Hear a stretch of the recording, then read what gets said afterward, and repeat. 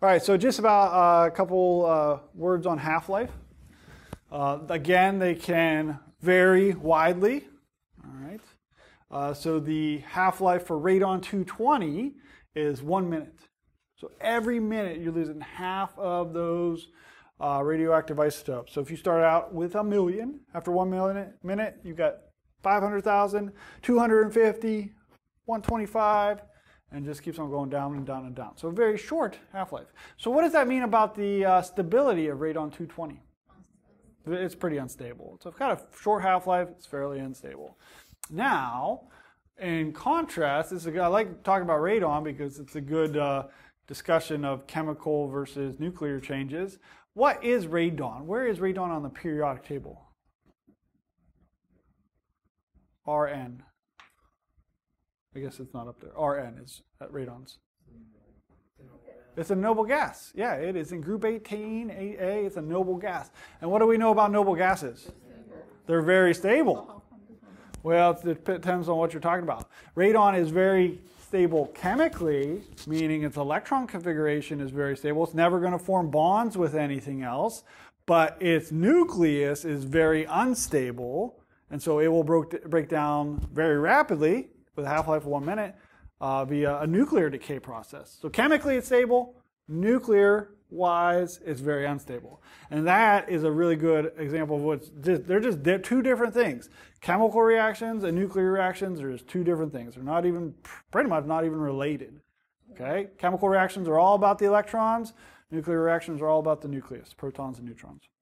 So when you say chemically, does it be combining itself? So chemically, um, what I mean by that is whether or not it will form or uh, chemical bonds, covalent bonds, ionic bonds. And radon, it's got octet rule satisfied. It's not going to do anything. It's not going to gain electrons. It's going to lose electrons. It's not going to form covalent bonds. It's happy as a clam in terms of its electron configuration. It turns out its nucleus is not very stable.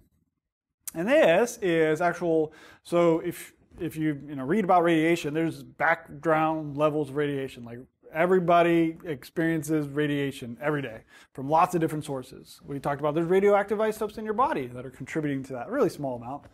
Um, but radon is one uh, source of background radiation because it is the daughter isotope in the decay process for lots of the other radioactive isotopes like uranium, thorium, uh, probably radon, uh, lots of the rare earth elements, or the, at least the lanthanides um, that are radioactive, decay into radon. And where do we find most of those radioactive isotopes? In the Earth's crust. Okay, that's where we would go mine them. So they're, in, they're present in the Earth, and they're decaying down there, whether or not we dig them up, and they're producing some radon. And then what did we just say radon was? What family it is? Noble gas. And so it's a gas. So guess what? It seeps up through the Earth's crust constantly. And so it's constantly coming out of Earth. And there are areas of the country and areas of the world where radon is more of a problem than others. And so even in parts of the country in the US where you have basements, we don't have to worry about that. Some places that have basements, they have to have radon pumps. They have to constantly be pumping air out of their uh, basements to make sure it's uh, safe because radon can come through the basements. They call them radon pumps. They're, they're, they're an exhaust fan. I mean, it's not anything crazy. they just they call it that They charge more, I bet. All right, so yeah, that's the story of radon. I don't think we have much because of the geology of Florida. We wouldn't have any radon anyways. All right, so here's some more isotopes uh, and their half-lives. So thorium and uranium, 4.5 billion years. That's like the age of the Earth. Uh, thorium 232, 1.4 times 10 to the 10, so that's 14 billion years. That's the age of the universe. All right, so these are really stable, very long half-lives, but they still are radioactive. Carbon 14, 5,730 years. They're radon under a minute. Thorium 219, a microsecond. So that's how unstable that is. So they can vary widely. And as we uh, briefly talked about yesterday, what you use to date materials has to coincide with how old it is. I think, I don't remember, I think you can use carbon 14 up to things that are like in the 60,000 years old range. Past that, there's just not enough carbon 14 left to detect in the lab.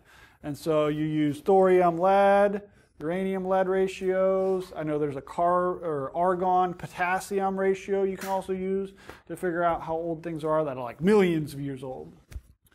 Like the T Rex I was going to dig up.